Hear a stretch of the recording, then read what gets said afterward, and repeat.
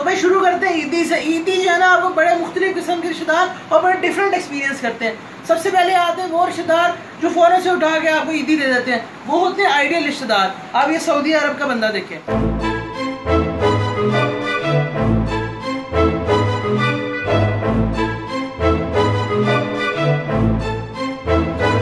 دوسرے قسم کے رشتے دار ہوتے ہیں جو آتے ہی سب سے پہلے ادھر ادھر کی باتیں کرتے ہیں اور ساتھ ہی آپ کو آپ کے گریڈ سے پوچھ لیتے ہیں۔ ان رشتے داروں کو مجھے بڑا غصہ آتا ہے۔ مجھے بہت مارا۔ کیوں کیا؟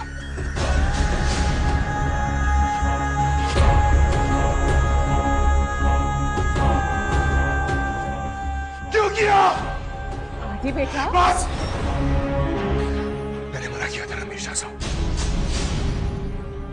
میں نے منع کیا تھا۔ پھر تیسرے قسم کے رشتے دار وہ ہوتے ہیں جو تھوڑے تھوڑے پیسے نکالتے ہیں۔ ہزار کے نوٹ پہلے نکالیں گے گنیں گے پھر دس کا نوٹ پکڑا دیں گے۔ ادھر درد ہوتی ہے ادھر۔ میں بھی دل رکھتا ہوں تیری طرح۔ بیچ میں کچھ اچھے رشتے دار بھی ہوتے ہیں جو آرام سے عیدی نکال کے دے دیتے ہیں۔ ان کو دیکھ کے کیا ریئیکشن ہوتا ہے؟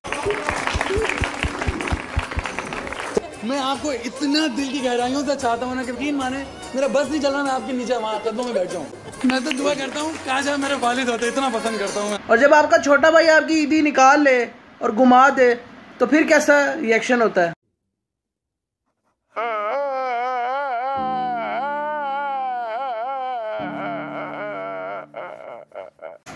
پھر کچھ وہ رشتے دار بھی ہوتے ہیں جو سارا دن عیدی کا لارا لگا کے آپ سے کام کرائے رکھتے ہیں اور پھر کہتے ہیں میں آپ سے بہت پیار اور عیدی نہیں دیتے۔ جب وہ ایسے کرتے ہیں تو کیسا لگتا ہے؟